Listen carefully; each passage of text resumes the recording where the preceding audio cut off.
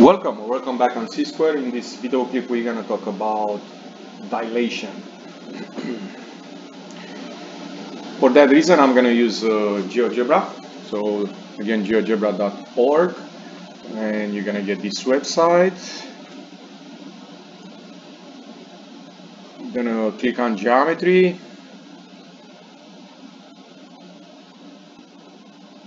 And you should get this uh, screen where uh, you have two areas.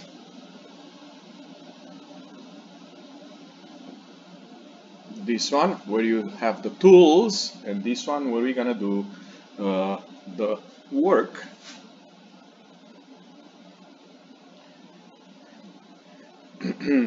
I'm gonna click on the segment which is right here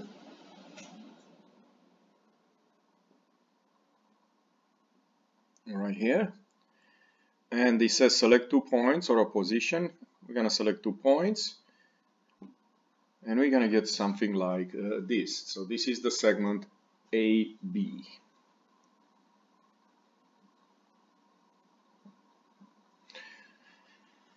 uh, then I'm gonna select the next thing which is a point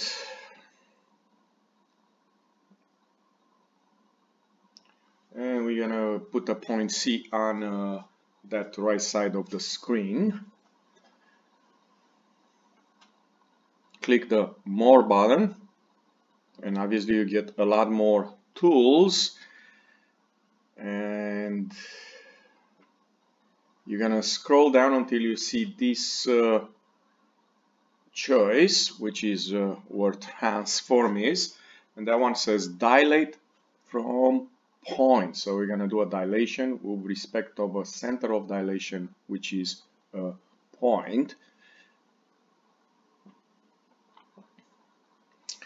Uh, it gives you some uh, uh, information how to do the dilation. Select the object, then center point, then enter a factor.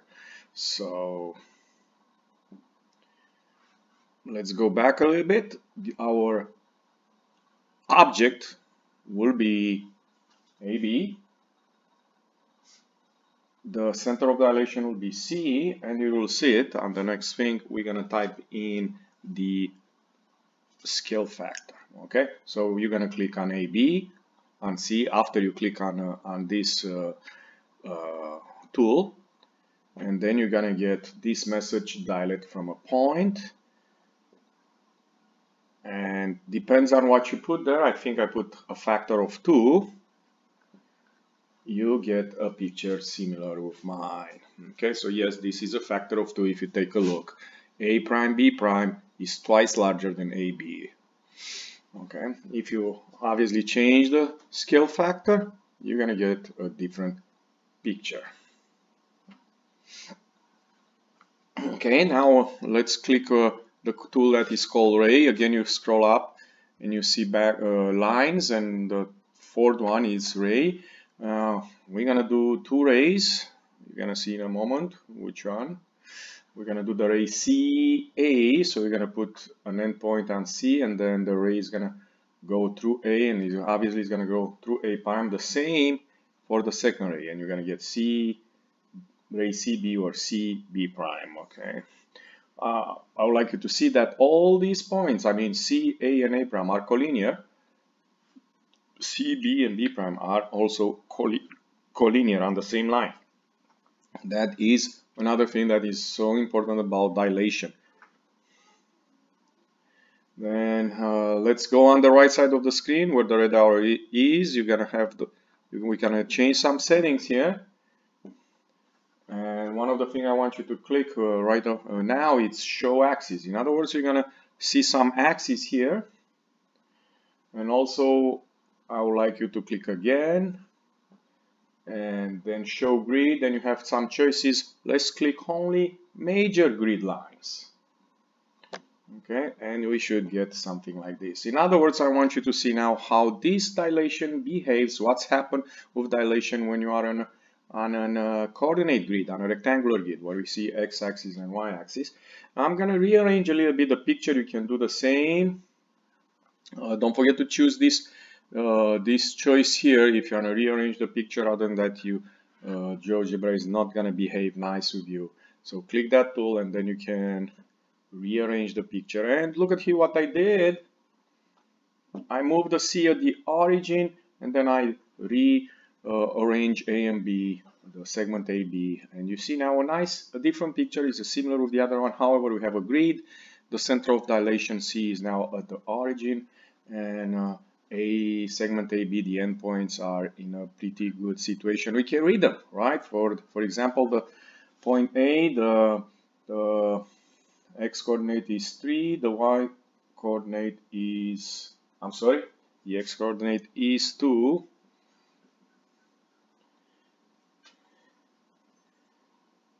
The x coordinate is 2 and the y coordinate is 3.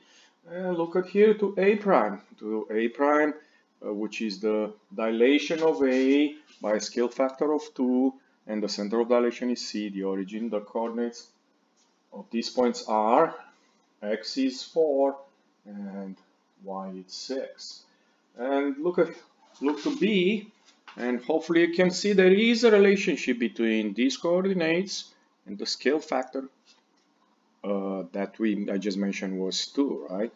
Discuss with your partner and think about a little bit. Okay.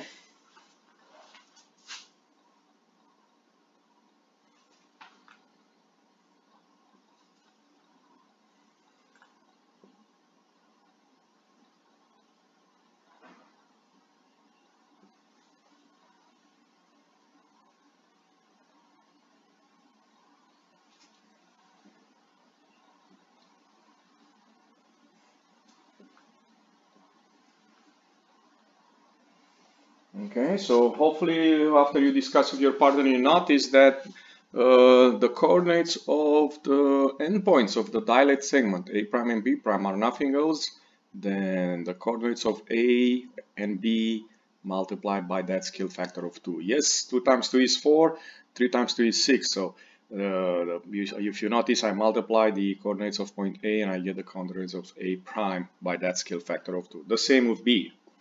So that is a rule that you may want to remember.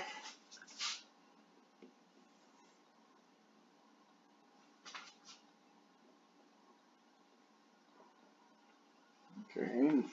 xy will change in nx and ny. In other words, you multiply by that scale factor n.